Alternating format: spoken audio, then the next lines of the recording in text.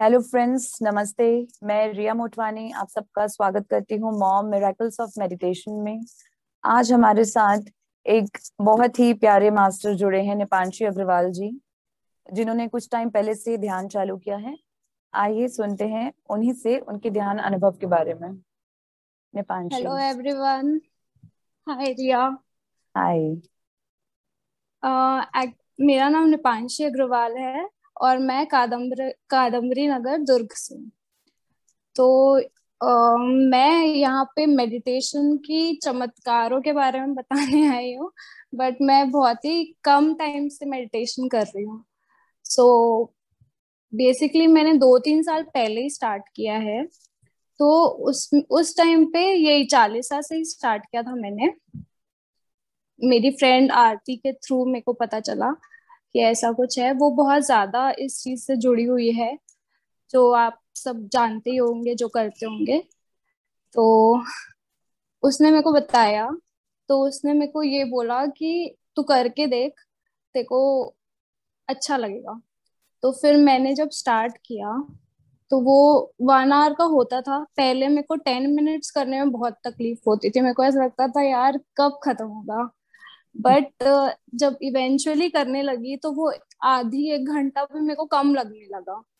क्योंकि इतने अच्छे एक्सपीरियंसेस होते थे जब आँख बंद करो और फिर आपको इतनी ब्यूटीफुल सीनरी दिख रही है और म्यूज़िक में आप घूम जाते थे और सासों से बात करने लगते थे। तो ये सब बहुत सारी चीज़ें होती थी मेरे साथ जो मैंने सर से भी डिस्कस करी थी। तो ये सब एक्सपीरियंस करना भी मतलब बहुत डिफरेंट है और उसमें आप सब, बाकी सारे थॉट्स भूल जाते हो, जो आपके रेगुलर लाइफ के होते हैं। तो धीरे धीरे फिर मैंने ये कंटिन्यू किया, फिर मेरी शादी हो गई और फिर मैं दुर्ग आ गई। तो फिर जब दुर्ग में आई तो फिर धीरे धीरे मैं यहाँ पे सेटल होने लगी, फिर उसके बाद मैंने स्टार्ट किया। बट जब भी मैं एंशियस होती थी या फ्रस्ट्रेटेड होती थी तब भी मैं थोड़े टाइम के लिए बैठ जाती थी ताकि मेरा माइंड रिफ्रेश हो जाए और मेरे को ज़्यादा कोई भी चीज़ को ज़्यादा मैं वेट ना दूँ, जिस, किसी भी थॉट को, ताकि मेरा दिन अच्छा रहे। तो इसलिए फिर मैंने मेडिटेशन किया, फिर धीरे धीरे ध्यान और अच्छा लगने लगा, फिर मैंने कंटिन्यू किया। फिर जैसे ये चालीसा हुआ तो और भी लोग से जो भी थे बात करते थे, जिनको मैं बताती थी मेडिटेशन के बारे में वो भी इस चीज़ से जुड़ने लगे। फिर धीरे धीरे ये हुआ कि अब मेरे को ऐसे लगता है कि जब भी मैं करती हूँ तो अब मैं एक संकल्प लेके करती हूँ, क्योंकि ऐसा मैंने बहुत सुना है कि लोग संकल्प करके कुछ चीज़ करते हैं मेडिटेशन करते हैं तो उनका कंप्लीट होता है। तो एक्चुअली आई स्टार्टेड दैट तो अब वही है, मैं बहुत पॉजिटिव होके फोकस्ड होके उस चीज़ पे कर रही हूँ। और एक्चुअली क्या है ना मेरे को ऐसा वही, अब नेगेटिविटी आनी कम हो गई है उस चीज़ को लेके जो मेरे संकल्प पे, पहले मेरे को बहुत डाउट्स होते थे अपने ऊपर कि हो पाएगा और नहीं हो पाएगा बट अब धीरे धीरे अपने ऊपर ज़्यादा बिलीव और सेल्फ कॉन्फिडेंस सेल्फ मोटिवेशन आने लग गया है कि हाँ आई कैन डू इट और मेरी जो फ्रेंड है, उसने जब मेरे को बताया था, तब एक्चुअली उसके साथ जो एक्सपीरियंस हुआ था, वो भी मैं शेयर करना चाहती हूँ, क्योंकि हम दोनों के साथ साथ में ही हुआ था वो।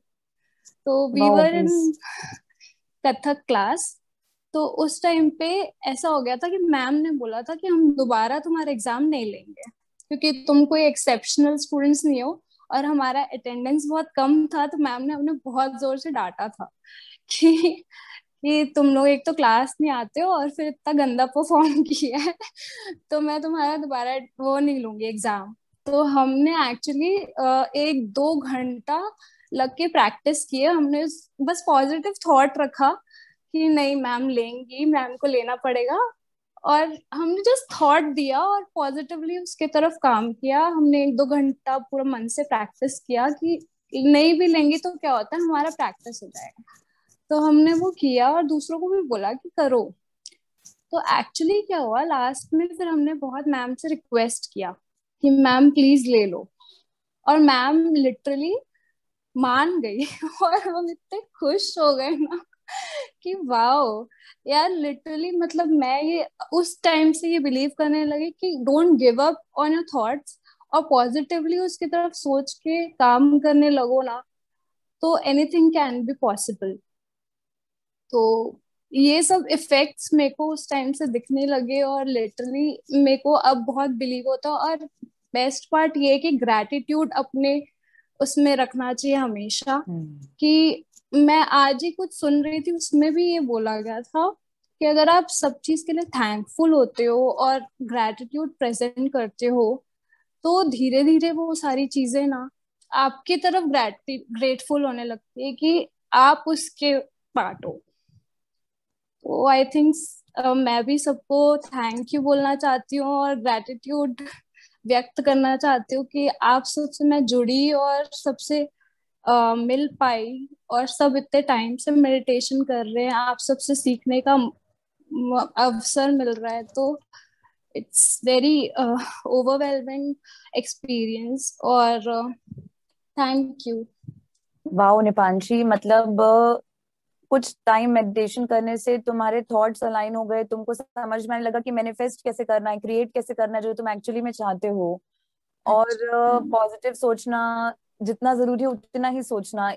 मतलब इतने ध्यान करने से तुम इतना सीख गए कि एक्चुअली इसको करना कैसे है विच इज़ वेरी नाइस पर मैं एक और क्वेश्चन पूछूँगी कि जैसे तुम्हारी शादी हुई बिफोर हम्म। शादी के पहले से तुम ध्यान करती थी बाद में करती थी तो तुम्हारी फैमिली लाइफ में पर्सनल लाइफ में या अपनी फैमिली में तुमने ध्यान सिखाया लोगों को उसमें क्या चेंजेस आए या उसके बारे में कुछ शेयर करो प्लीज़ एक्चुअली हम्म। मैंने अपने फैमिली में बहुत सारे लोगों को जो जो भी मुझसे जैसे कुछ लोग होते हैं जो बहुत नेग्लिजेंट होते हैं इस चीज़ के जो करना ही नहीं चाहते हम्म। तो उनको आप फोर्स नहीं कर पाते हो बट कुछ लोग खुद ही जब आप इस टॉपिक को छेड़ते हो तो खुद ही पूछने लगता है जैसे मेरी जो ताई जी हैं यहाँ पे आने के बाद उन्होंने हम्म। कल अपना शेयर किया था एक्सपीरियंस तो yes. उन्होंने बताया उनके लाइफ में क्या चेंज आया यहाँ पे एक और है आ, मेरी सास उन्होंने भी आ, इस चीज़ का एक्सपीरियंस किया या उनको इतना रिलैक्स फील हुआ होगा तो आई एम ग्रेटफुल कि वो लोग ये सब चीज़ें कर रहे हैं और खुद फील कर रहे हैं और उस चीज़ से हील हो रहे हैं so I feel very lucky कि मैं यहाँ पे रह के ये चीज़ सबको अवेयर कर पा रही हूँ। और पहले भी मैं मम्मी है मेरी जो वहाँ पे uh, उनको भी ये चीज़ बहुत प्रोत्साहित करती थी कि आप भी करो आप भी करो अच्छा लगेगा आपको क्योंकि वो बहुत टेंशन देती थी। बट अब धीरे धीरे वो भी कर रही है उनका भी छूट रहा है तो वो बोलती है कि मैं शाम को कर लेती हूँ।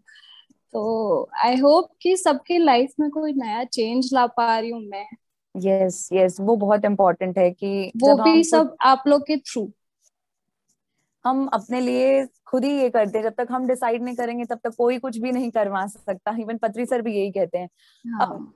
टेकिंग द नेम ऑफ़ पत्री जी उनके साथ कुछ एक्सपीरियंस अगर आपको हुआ है आप शेयर करना चाहेंगे प्लीज़ बताइए यस yes, उनके साथ एक एक्सपीरियंस हुआ था जब हम लोग फ़र्स्ट टाइम पत्री जी आए थे तो मैं आरती हम्म। अपनी फ्रेंड के साथ ही गई थी उनसे हम्म। मिलने तब मेरे को कोई आइडिया नहीं था क्या होता है मेडिटेशन में क्या करना चाहिए कैसा होता है सुना बहुत है किया भी था पहले बट इतने मैनिफेस्ट करना और इतने बिलीव के साथ नहीं किया था कि क्या होता है एक्चुअली तो मैं हम्म। उनके साथ जस्ट uh, मिलने गई थी और uh, जब उनका सेशन हो रहा था तब वो अटेंड करने गई थी।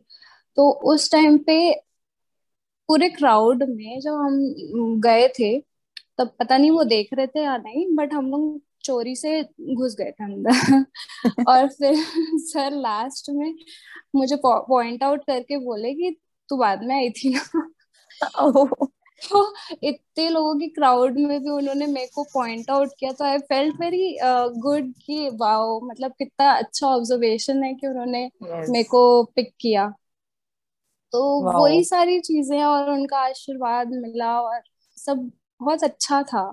So it was a pleasant meeting तो वाओ नाइस यस जब अब तुमने कहा कि दो ढाई साल हो गया ध्यान करते हुए तो डेप्थ तो ऑफ़ कोर्स बड़ा होगा विद टाइम इनिशियल और बाद के कंपैरिजन में तो ऐसा हम्म। और कुछ एक्सपीरियंसेस हुए जैसे मास्टर्स बताते हैं या थोड़ा एक्सपीरियंसेस या इन डेप्थ जो हमारे इंट्यूशंस होते हैं वो हमें गाइड करते हैं या एंजल्स इससे रिलेटेड कुछ भी एक्सपीरियंस आपको हुए हैं कभी एक्चुअली मैंने ये शेयर भी किया है मीटिंग के टाइम पे जूम मीटिंग में कि uh, मेरे को uh, पत्री जी और सारे जो एस्ट्रल मास्टर्स हैं वो दिखते हैं।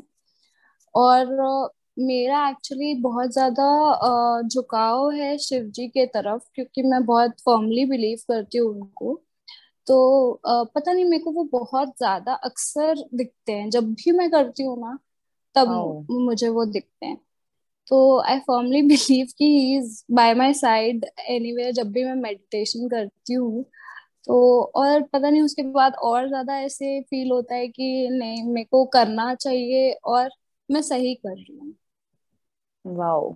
यानी ये तो मतलब निपांशी के लिए एक बार सभी व्यूअर्स ज़रूर ताली बजाए बिकॉज़ इनके एक्सपीरियंसेस से, दो साल के एक्सपीरियंसेस से हमें इतनी सारी चीज़ें समझ में आई कि इंट्यूशन स्ट्रांग होते हैं। हम जिस भी मास्टर या भगवान पे विश्वास रखते हैं, वो उनका प्रेजेंस हमें फील होता है। या हमारा खुद का पॉजिटिव एटीट्यूड आता है फैमिली सराउंडिंग सारे और चेंज होता है। तो बहुत uh, मज़ा आया निपांशी uh, आपसे बात करके। एक लास्ट मैसेज आप सभी व्यूवर्स के लिए क्या कहना चाहेंगी? मैं बस यही बोलना चाहूँगी कि कभी भी किसी भी थॉट को इतना ज़्यादा अपने ऊपर हावी मत होने दो एकदम लाइट लेके छोड़ दो क्योंकि वो आपका टेंशन बढ़ाएगा और कुछ नहीं करेगा। या मेडिटेशन करने बैठ जाओ। तो आपके सारे ऑलरेडी जो भी थॉट्स आ रहे होंगे ना वो अपने आप गायब हो जाएँगे। और एक्चुअली ग्रेटफुल रहो सबको। Wow thank you thank you so much for joining us today. It was really pleasure hearing your experience, Nipanshi. Thank you so much and thank you all viewers हम इसे कंटिन्यू करेंगे next series में और ध्यानियों के साथ। तो thank you for joining us thank you